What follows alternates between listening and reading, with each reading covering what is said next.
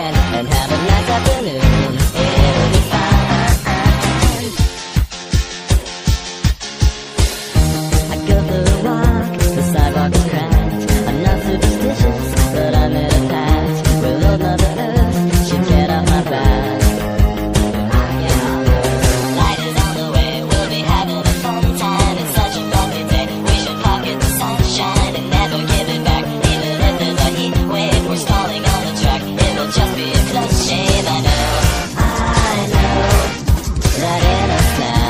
the purple thing I know.